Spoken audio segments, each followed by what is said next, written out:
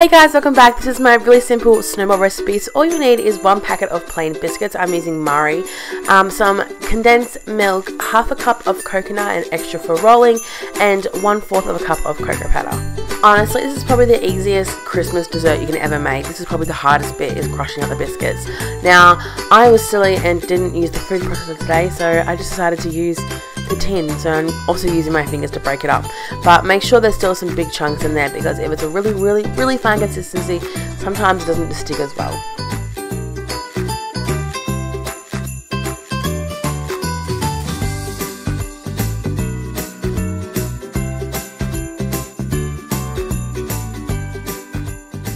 And this is what the biscuits look like when they're all crunched up. There's some big pieces in there still, but nice and fine.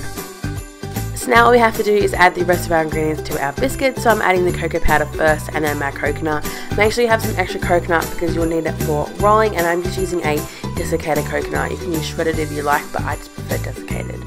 Just ensuring you mix all the dried ingredients together because otherwise you may get big chunks of coconut in one bit and big chunks of cocoa powder in another.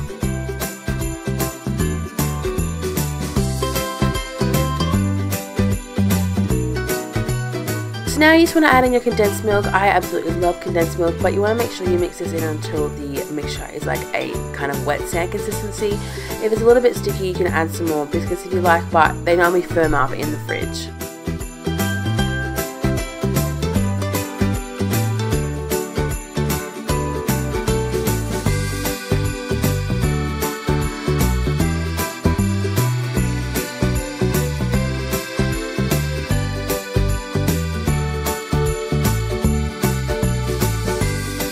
And this is what it should look like at the end when it's all mixed together.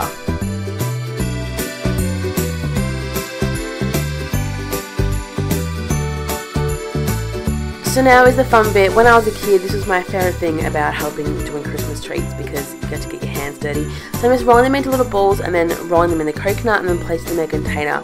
You can add as little as much coconut as you like and make the balls as big or small as you like, but just make sure that they're roughly the same size because otherwise they're huge.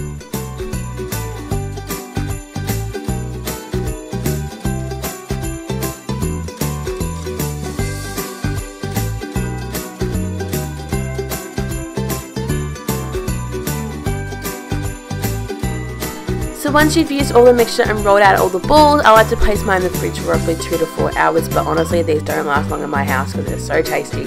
But if you guys enjoyed this video, make sure you give it a big thumbs up and I'll see you all in my next video. Bye!